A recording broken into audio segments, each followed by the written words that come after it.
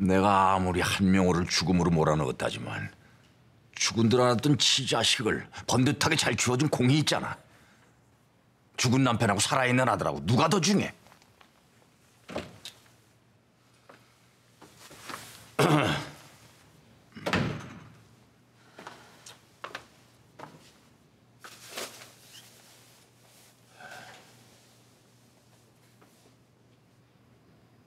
무슨 일이죠?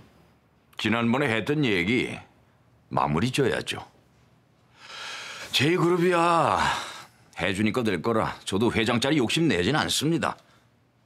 다만 그동안 경영 일선에서 쌓은 제 노하우와 연륜이 아까워서요.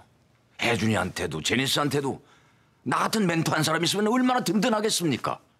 그래서요? 제이그룹 명예회장 명함 정도는 내가 받아야겠습니다.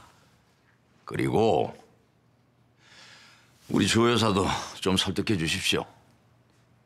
부모가 이혼하면 혜준이한테도 좋을 게 없지요. 결혼할 때 아버지 없으면 좋겠습니까? 내 말이 우스워요? 아버지? 친아버지를 죽인 의붓아버지도 아버지라고 결혼식에 초대하라고? 그럼 30년을 키워준 아버지를 버립니까?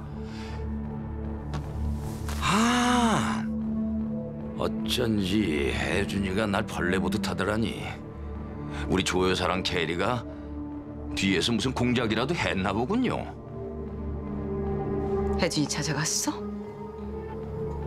가서 뭐라고 했어? 내가 내 아들 찾아가서 뭐라고 하든 당신한테 허락이라도 받을까? 뭐라고 했냐고? 왜? 혜준이한테 당신이 생모라고 했을까봐 쫄립니까?